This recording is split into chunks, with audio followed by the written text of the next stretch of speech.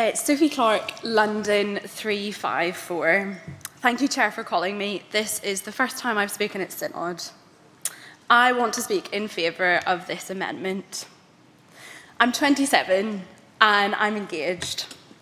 I'm due to get married in two months' time and I'm absolutely delighted. It's actually currently up in the gallery and has been for the last two days, so if that's not true love, I don't know what it is. I and my fiance have never had sex. We are convinced, in accordance with Scripture, that the doctrine of this church is that God's calling for us and for everyone seeking to follow Jesus is to live this way. That sex is to happen only within lifelong union of holy matrimony. I am devastated at the possibility that my leaders and shepherds of this church might now be telling me that our decision to wait, to deny ourselves in order to follow Christ, is unnecessary and is unimportant and is a matter which we can simply agree to disagree.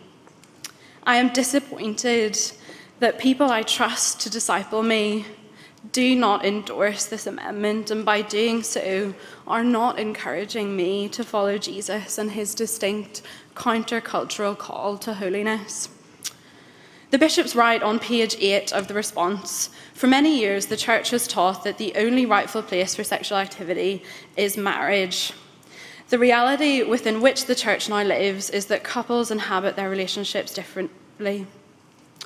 I find these words so depressing and distressing. The bishops have made it clear in their response to LLF that the reality of couples having sex outside of marriage is now a given, rather than one they challenge with Jesus' call to the world to repent and believe. I am so concerned that in seeking to change one thing, the bishops are actually changing a second thing as well. Sex is for marriage. Some here, myself included, believe that marriage is between a man and a woman. Others believe in the possibility of same sex marriage. But surely, what most of us do agree on in this room is that sex is and should be within marriage.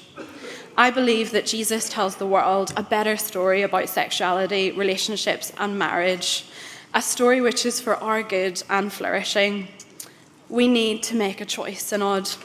Does the church still have a better story to tell? Does it believe in its doctrine? The world says that I'm strange, that I'm not living life to the full, that I'm less human because I'm not yet sexually active.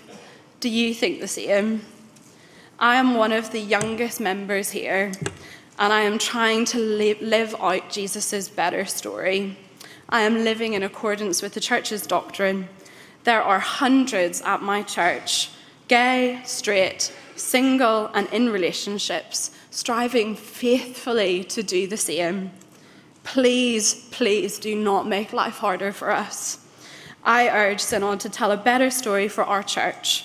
I urge Synod to not allow these unintended consequences. Sex is for marriage, and I urge Synod to support this amendment. Thank you.